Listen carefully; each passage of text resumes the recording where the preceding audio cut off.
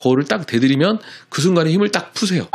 자연스러운 게 최고다. 미용시술 10년차 아름쌤입니다. 오늘은 턱끝 필러, 무턱 필러가 잘 안 어울릴 얼굴에 대해서 얘기를 해볼까 합니다. 자, 첫 번째, 얼굴이 긴 사람이에요. 자, 얼굴이 긴 사람은 더 길게 하면 당연히 안 예쁘겠죠. 턱끝이 후퇴했더라도 마찬가지예요. 이런 분들은 이미 하관의 길이가 긴 경우도 많고, 사실 턱끝이 돌출이 충분한 경우가 많아요. 약간 북방계 얼굴형이 많고요. 자, 북방계, 남방계 얼굴형은 아까 전 영상에서 소개를 했고, 인터넷에 검색해 보면 많이 나옵니다. 이런 분들은 사실 원래부터 안 하고 싶은 경우가 많아요. 그래서 다음으로 넘어갑니다. 패스! 아차, 아차. 사실 얼굴이 기신 분들은 앞쪽으로만, 길이는 더 이상 길어지지 않고, 앞으로만 더 하고 싶다 이런 분들도 많이 있어요. 그런데 하다 보면 조금이라도 얼굴이 길어지게 되더라고요. 솔직히 이건 제 한계일 수도 있어요. 인정합니다. 근데 이제 제가 턱끝 필러에 굉장히 집착을 하는 편인데 이 부분만큼은 한계가 있어요. 자, 다만 턱끝이 후퇴되어 있으신 분들은 이런 습관이 있어요. 턱끝에 힘을 주시는 거예요. 제가 흉내를 내볼게요. 음.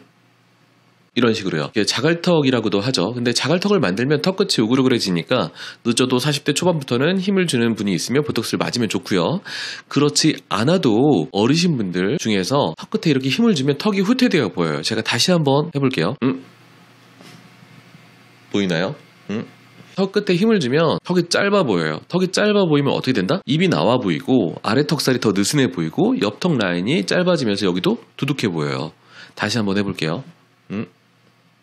자, 그러면 여기에 실리콘이나 필러를 넣지 않더라도 보톡스만이라도 맞아주면 내가 가진 턱 길이만큼은 남한테 보여줄 수가 있어요. 이건 정도는 해주셔도 괜찮아요. 턱이 후퇴되어 있으신 분들 중에서 열의 아홉은 턱 끝에 힘을 이렇게 음, 주는 습관이 있으시기 때문에 어차피 이제 턱 끝 필러 하실 때는 보톡스를 맞으면서 하는데 자, 턱 끝에 힘을 이렇게 주고 계신 분들은 이제 대화 중에 벌써 뭐 10분을 대화하고 있다. 그러면 저랑 대화할 때 한 7, 8분 정도는 벌써 힘을 이렇게 음, 이렇게 주고 계신 경우가 많은데 정말 재밌는 것은 힘을 이렇게 계속 주고 계시다가도 또는 10분 중에 거의 10분 내내 또는 9분, 8분, 9분 동안 힘을 이렇게 주시고 다가도 제가 이제 이렇게 힘을 주시잖아요 라고 거울을 딱 대드리면 그 순간에 힘을 딱 푸세요. 뭐 언제 그러냐는 듯이 0.5초 만에 힘을 딱 빼시는 거예요. 그래서 스스로는 내가 이거 힘을 주고 있는지 안 주고 있는지 발견하기가 굉장히 어려워요. 힘을 주는 것 같다 싶으시면 주변 분들한테 이걸 봐달라고 내가 힘을 주는 습관이 있느냐 없느냐라고 좀 봐달라고 하는 게 좋겠어요.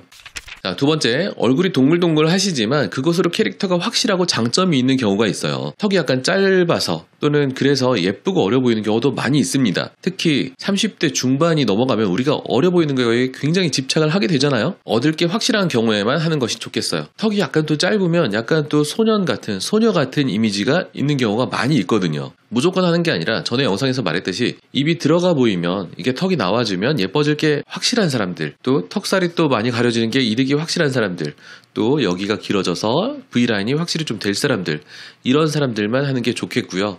또 약간 짧아서 소녀 소녀 같은 이미지가 또 이 사람한테 특별히 잘 어울릴 사람들한테는 안 하는 게 좋아요. 애초에 또 얼굴이 말라서 뭐 이렇게 턱 밑살이 많지 않다든지 또 뭐 처짐이 처짐이 적어서 이 살이 원래 좀 두둑하지 않다든지 이런 사람들은 뭐 꼭 필요하지 않을 수 있겠죠. 또 동글동글 발랄한 얼굴도 있기 때문에 그런 사람도 안 해도 됩니다. 세 번째, 얼굴을 3등분 했을 때 이마, 중간 얼굴, 하관을 3등분 했을 때 이미 하관이 얼굴이 둥글둥글 하신 분인데도 이미 여기가 3분의 1이 넘는 사람이 있어요. 굳이 뭐 3분의 1씩 굳이 따지지 않아도 아무튼 여기보다 이 중간 얼굴보다 여기가 벌써 긴 사람들은 안 하는 게 비율이 맞을 수도 있어요. 근데 또 혹시나 코가 낮아서 코가 낮아서 여기가 짧아 보이는 경우가 있거든요. 그런 경우에는 또 코랑 턱끝이랑 같이 해주면 좋은 경우가 있어요. 자, 네 번째. 턱 끝에 상처가 있는 사람 좀 어려운 경우가 많아요. 턱 끝에 자기도 모르는 가운데 상처가 있는 경우가 많이 있습니다. 제가 필러 할 때 제일 싫어하는 거 뭐라고 했는지 기억나시는 분 있으세요? 유착이 있는 경우가 제일 힘들고 어려워요. 흉살들이죠. 턱 끝에 왜 흉살들이냐 하시겠지만 의외로 여기 턱 끝에 흉터가 있는 경우가 많아요. 임상적으로는 흉터가 얼굴 중에 제일 많은 데가 여기가 아닌가 싶어요. 제가 이제 미리 여쭤보죠. 턱 끝에 뭐 상처 같은 거 없으시죠? 네. 이렇게 하시는데 나중에 보면 턱 끝에 상처가 있는 경우가 종종 있어요. 어렸을 때 걸음마 같은 거 다 다쳤을 수도 있고 또 뭐 초등학교 때 열심히 달리다가 어 넘어져서 다쳤을 수도 있고 그런 것 같습니다. 그래도 턱 미치니까 내가 뭐 볼 일이 많지가 않아요. 여기 내 밑에 볼 수 없잖아요. 그리고 턱 끝에 뭐 사진 찍어 보는 사람도 별로 없고요.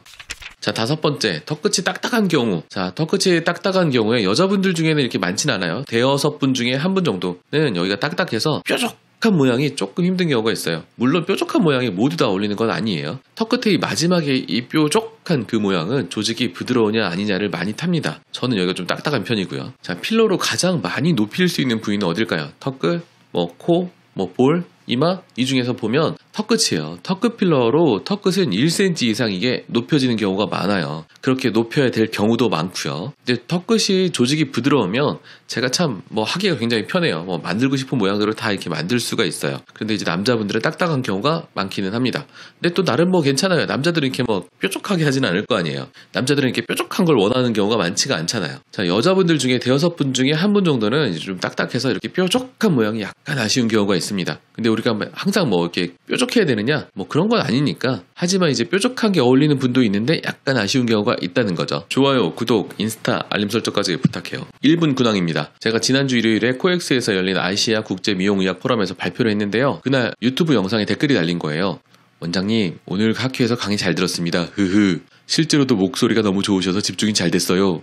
아, 예, 목소리 칭찬 감사합니다. 아, 그런데 다른 의사 선생님들이 제 영상을 본다고 생각하니까 왠지 모르게 참 부끄럽다는 생각이 듭니다. 앞으로 더욱더 신중하고 정확한 정보를 전달하기 위해서 힘쓰겠습니다.